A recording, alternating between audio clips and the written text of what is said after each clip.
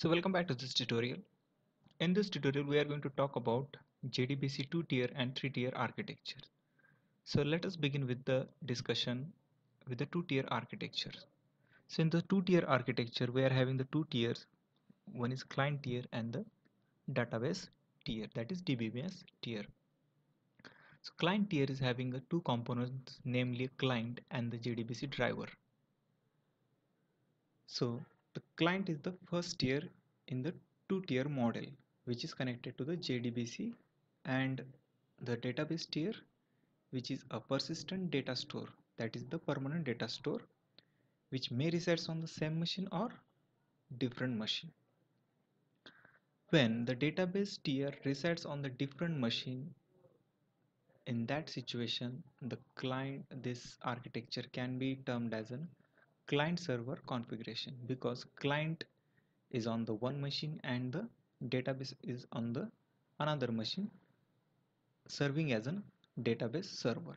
So client can send the request to the database and the database can receive the request and process the received request and send back back the result to the client. So database here acting as a server which accepts request and send some results. Okay so if you think about this tier as a two level. So first level is a client tier and the second database uh, management system as a second layer. So first layer is having a client as well as the JDBC driver. So here we can actually see this is another your JDBC driver. So this client can interact to the database through the JDBC driver. When database receives the query or commands from the client it processes the commands and sends back the result to the client tier. So this is nothing but the two tier architecture. Now try to understand how this two-tier architecture is in the block representation. So this diagram actually shows the block representation of two-tier architecture. So client application that is nothing but our Java application can communicate with the database management system through the JDBC driver. So we are uh, already familiar with the working of JDBC. So in this case so client application and JDBC forms a first tier and database server or the database actually is a second tier. So because of the these two levels or two layers this architecture is called as a two tier architecture. Now we'll try to understand the JDBC three tier architecture. So in this uh, diagram we can we are having three tiers that is three levels so client level client GUI application server and database server or database. Now client can interact with the application server through the your web browser or the servlet. And your java applications resides on the application server.